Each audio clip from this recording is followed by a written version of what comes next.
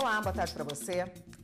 Pela manhã, testemunhas de defesa do ex-presidente Lula prestaram depoimento na sede da Justiça Federal em Brasília. Os depoimentos são relacionados à acusação da Procuradoria-Geral da República contra Lula por tráfico de influência na compra de caças suecos entre 2013 e 2014, lavagem de dinheiro e organização criminosa por supostamente prometer vantagens dentro do governo federal. Movimentação começou cedo em frente ao prédio da Justiça Federal. Foram convocadas as testemunhas da defesa do ex-presidente Lula e do filho dele, Luiz Cláudio.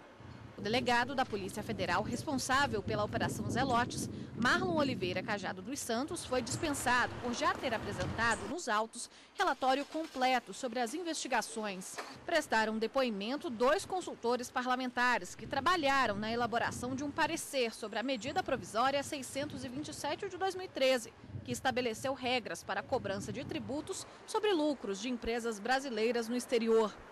Outras nove testemunhas previstas não compareceram à Justiça Federal. Entre elas, o ex-ministro da Fazenda, Guido Mantega, que terá a oitiva por videoconferência remarcada.